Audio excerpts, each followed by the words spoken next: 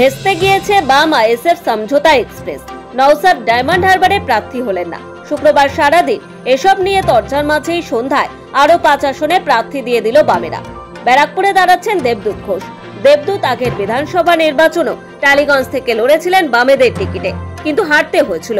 অন্যদিকে বারাসাতে বামফ্রন্টের প্রার্থী কবির ঘোষ। বসিরহাটে লড়ছে নিরাপদ সর্দার। এই নিরাপদও আবার সন্দেশখালীর প্রাক্তন বিধায়ক। এবারে লোকসভা ভোটে গোটা দেশের নজর যে এই সন্দেশখালীতে থাকবে, তার বলার অপেক্ষা রাখে না। ডায়মন্ড হারবারে দাঁড়াচ্ছেন বামেদের হয়ে প্রতিকুর এসএফআই এর প্রাক্তন রাজ্য সভাপতি। তিনি যে ডায়মন্ড হারবারে দাঁড়াচ্ছেন, সে ইঙ্গিত আগেই মিলেছিল। কিন্তু বামেরা অপেক্ষা করছিল আইএসএফ এর জন্য। শেষ পর্যন্ত সেখানে প্রার্থী দিয়েছে আইএসএফ। এবার প্রার্থী দিল বামেরাও। একুশের বিধানসভা ভোটে ডায়মন্ড হারবার থেকে লড়েছিলেন প্রতিকুর রহমান। কিন্তু হারতে হয়েছিল তাকেও। ঘাটালে লড়ছেন বামফ্রন্ট মনোনীত প্রার্থী তপন গঙ্গোপাধ্যায়। এদিকে আসন সমঝোতা ভেস্তে যাওয়ার পেছনে একদিন আগে নওসাদ আঙুল তুলেছিলেন বামেদের দিকে। এদিন সাংবাদিক বৈঠকে পাল্টা দিলেন বামফ্রন্ট চেয়ারম্যান বিমান বসু। সাফ বললেন আইএসএফ কে অনেকবার ডাকা হলেও তারা বৈঠকে আসেনি। প্রার্থী দিতে এত দেরি হওয়ার পিছনে আসন সমঝোতার কথাই বারবার গিয়েছে বিমানের মুখে। তবে এদিন এসইউসিআই লিবারেশন কথাও শোনা যায় বামেদের মুখে।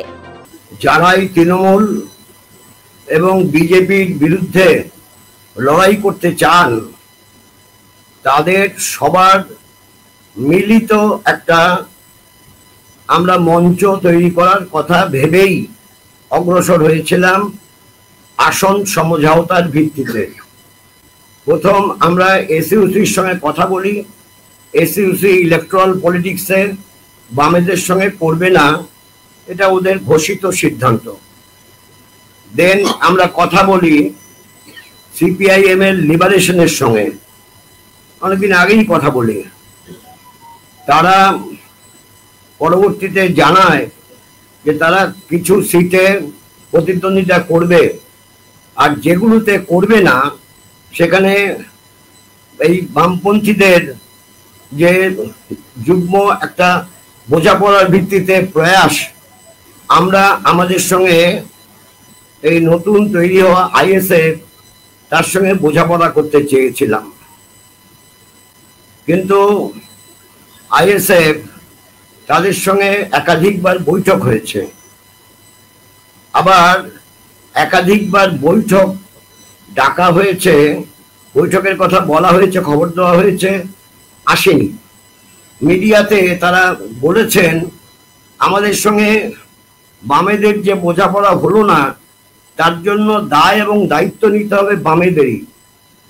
কি করে বামেদের দায়িত্ব পড়ে? আর এমনও হয়েছে, আলোচনা আছে চারটের সময়, এসছে পাঁচটার সময়।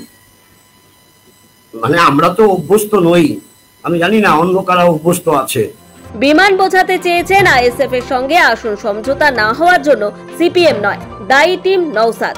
এর আগে চার দফায় বামেরা তেইশ জন প্রার্থীর নাম ঘোষণা করেছে। আসন সমঝোতার জন্য বারোটি আসন ছেড়ে রেখেছে বামেরা। মথুরাপুর এবং জয়নগরে কাদের প্রার্থী করা হবে তা নিয়ে এখনও চূড়ান্ত কোনো সিদ্ধান্ত নেয়নি বামেরা। সৌভিক সান্যালের রিপোর্ট, সময় কলকাতা।